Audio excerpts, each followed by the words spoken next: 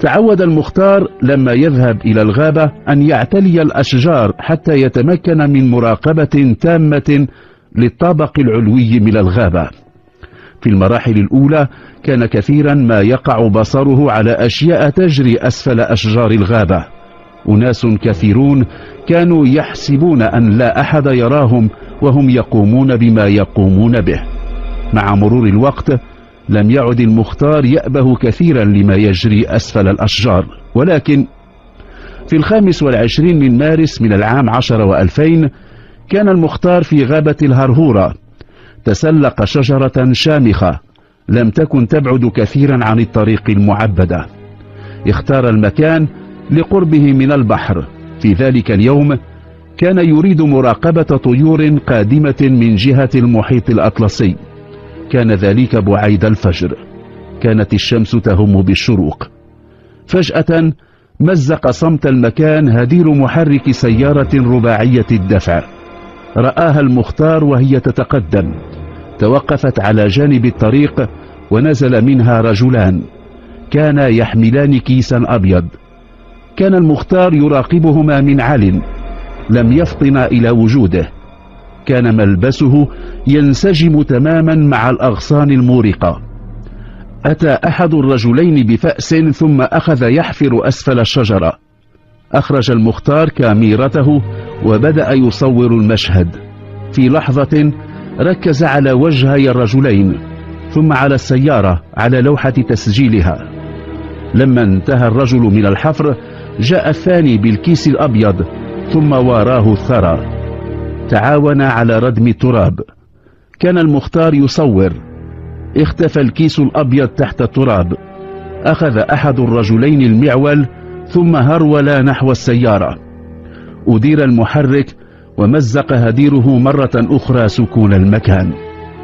لما غابت السيارة وراء المنعطف أوقف المختار التصوير. نزل من الشجرة. توجه إلى الحفرة ونبشها حتى بلغ الكيس الأبيض. كان الكيس يحتوي على جثة رضيع حديث الولادة.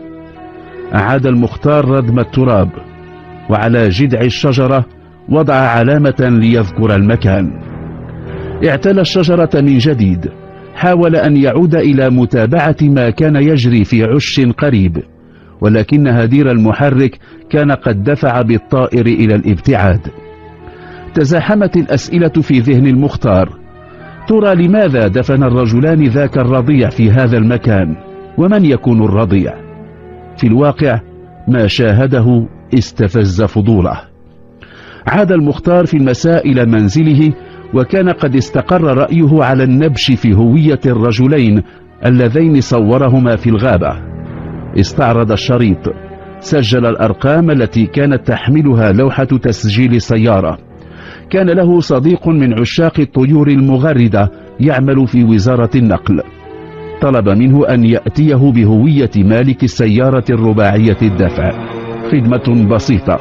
في الغد جاءه صديقه بهوية الرجل اسمه سمير أبو القواسم ويسكن في ديور الجامع بحي الحبوس بالمنزل 251 كان المختار في تلك الأيام يجتاز فترة حرجة فقد كان بحاجة إلى بعض المال لإنعاش تجارته وترميم محل سكناه ولذلك فكر في مساومة الرجلين عسى أن يحصل منهما على المال.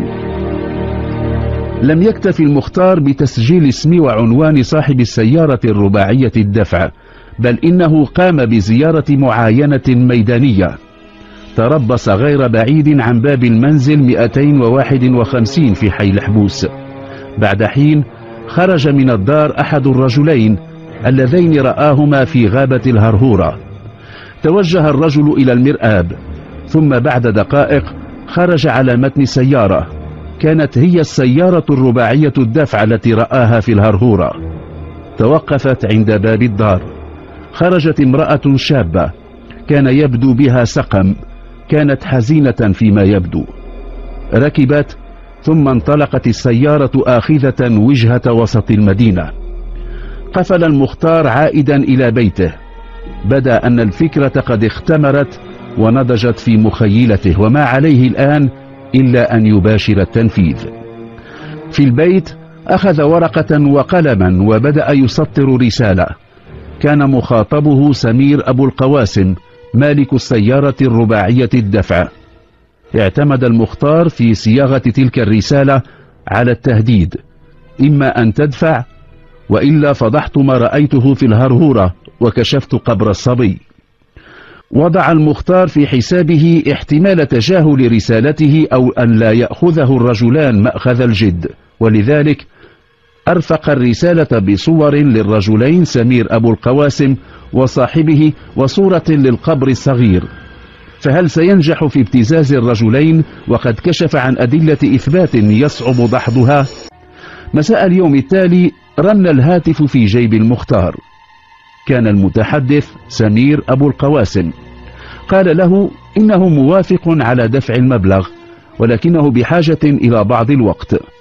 طلب منه أن يمهله أسبوعا ولكن المختار رفض ذلك وخشي أن يفتضح أمره وقال إنه لن يستطيع الانتظار أكثر من يومين. بعد ذلك سيبلغ الشرطة. أطفأ المختار هاتفه المحمول وبعد يومين شغله من جديد. كانت في انتظاره رسائل صوتية عدة كلها من سمير أبو القواسم الذي كان في كل رسالة يؤكد عزمه على الاستجابة ودفع المبلغ المطلوب. وأن عليه فقط أن يحدد مكان وموعد تسليم القرص الأصلي المتضمن لشريط دفن جثة الرضيع في غابة الهرهورة وتسلم العشرين ألف درهم. كان المختار قد فكر في الأمر ووقع اختياره على ساحة ملعب الأمير مولاي عبد الله القريب من حي الفتح حيث يوجد ممر للراجلين يفضي إلى ساحة الملعب.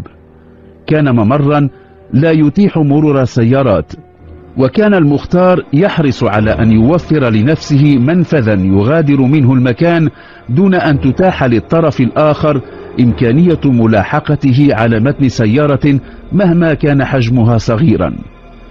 في وقت لاحق من ذلك اليوم اتصل المختار بسمير أبو القواسم وضرب له موعدا في صبح الغد بعيد الفجر في ساحة ملعب الأمير مولاي عبد الله. كان الاتفاق يقضي بأن يسلم المختار الشريط الأصلي وأن يتعهد بالتزام الصمت وأن يدفع الرجل لقاء ذلك عشرين ألف درهم. وكما أن المختار وضع في أولويات خطته أن يتمكن من المال ومن الفرار عبر منفذ آمن فإن سمير أبو القواسم درس مع شريكه في دفن جثة الرضيع في الهرهورة كل ما يمكنهما من الحصول على وثائق الإثبات وفي الآن نفسه استعادة العشرين ألف درهم. خطط الرجلان ونصب كمينا محكما للمختار مربي الطيور المغردة. في صبح الغد حضر الرجلان إلى ساحة ملعب الأمير مولاي عبد الله. كانا يراقبان كل الطرق المفضية إلى الساحة. كان أحدهما يتربص على متن السيارة الرباعية الدفع التي كانت مستوقفة في مكان لا ترى منه. كان يتوقعان أن يأتي صاحبهما راجلا أو على متن سيارة. فجأة ظهر رجل ممتطيا دراجة حمراء. كان يجول وسط الساحة. لم يتوقع أن يأتي الرجل على متن تلك الناقلة البطيئة. وصل الدراج إلى المكان الذي وضع فيه المال. أخذ الظرف ووضع مكانه قرصا مدمجا ثم أسرع متجها إلى المعبر المفضي إلى حي الفتح. في تلك اللحظة زمجر صوت محرك سيارة انطلقت مسرعة نحوه. دهمته بقوة. سقط أرضا. أخذ منه أحدهما الظرف الذي كان به العشرون ألف درهم بعد أن أخذ القرص المدمج ثم ابتعدت السيارة مسرعة. بعد لحظات أتى من جهة حي الفتح أحد عمال المركب الرياضي. رأى المختار صريعا. أسرع نحوه. كان في حالة لا تبعث على الاطمئنان. سمعه يئن. كان يقول مفتاح USB في ال guidon. ال USB في ال guidon. أسرع عامل المركب الرياضي إلى الملعب واتصل بشرطة النجدة. بعد بضع دقائق حضرت سيارة الشرطة. نقل الرجل إلى قسم المستعجلات ولكن كل المحاولات الهادفة إلى إنقاذه باءت بالفشل. مات المختار مربي الطيور المغردة متأثرا بجروحه. كان رجال الشرطة قد لاحظوا الأضرار التي لحقت الدراجة الحمراء التي كان يمتطيها المختار. كان واضحا أن سيارة داهمت الرجل وداست الدراجة. خلص عميد الشرطة المسؤول عن مصلحة المداومة والذي جاء من مدينة تمارة إلى أن الأمر يتعلق ربما بحادثة سير مع جنحة الفرار. استمع إلى عامل المركب الرياضي أبلغه أن كل ما سمعه من الضحية أنه قال مفتاح USB في ال guidon. أمر العميد بتمشيط المحيط ولكنه لم يتم العثور على أي بيدون. كان على العميد أن يبعث بمذكرة بحث حول الحادثة وإرسال برقية حول الموضوع إلى الإدارة العامة للأمن قصد الإخبار لضبط إحصائيات حوادث السير.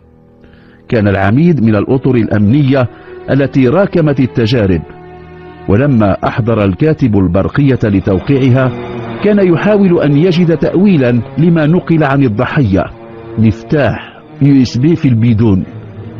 تذكر العميد شرطيا كان يعمل تحت إمرته في سيدي قاسم. وكان عرف عن الشرطي ابتزازه للمتعاطين للنقل السري. يذكر العميد أنه لم يتمكن من ضبطه متلبسا. ويذكر أيضا أن الشرطي بعد إحالته على التقاعد جاءه مودعا. قال له إنك يا سيدي العميد لم تضبط معي ما يثبت فعل الارتشاء. لأنني كنت أدس ما أحصل عليه من مال في الجيدون وكان يقصد مقود دراجته النارية. إذ ذاك تساءل عما إذا كان صاحب الدراجة الحمراء يقصد الجيدون. نهض العميد إلى الدراجة التي دهستها السيارة نزع المقبضين المطاطيين في طرفي المقود وفجأة سقط مفتاح USB أخذه وعاد إلى مكتبه. طلب حضور متخصص من المصلحة الإلكترونية. فتح ال USB وباح بأسراره. كان به شريط يظهر كيف دفن الرجلان جثة الرضيع في غابة الهرهورة. وكان الشريط يظهر جليا رقم السيارة التي جاء على متنها.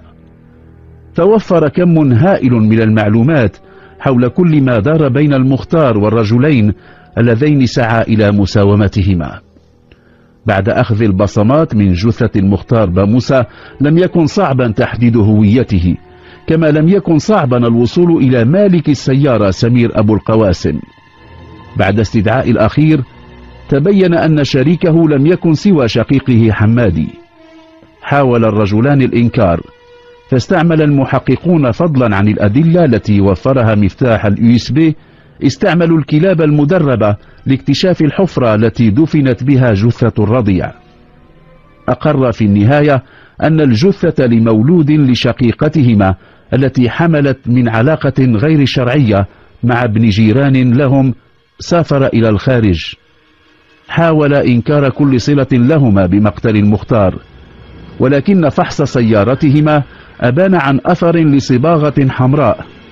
أثبت التحليل المخبري أنها نفس صباغة الدراجة التي كان يمتطيها المختار. في النهاية اضطر سمير أبو القواسم وشقيقه حمادي إلى الاعتراف وكان ذلك بداية لبحث مطول أسفر عن اعتقال الأخوين وشقيقتهما. هي اعتقلت لإقامتها علاقة جنسية غير مشروعة وتوبع شقيقاها بتهمة قتل الجنين والمساهمة في قتل المختار صديق الطيور مع سبق الإصرار.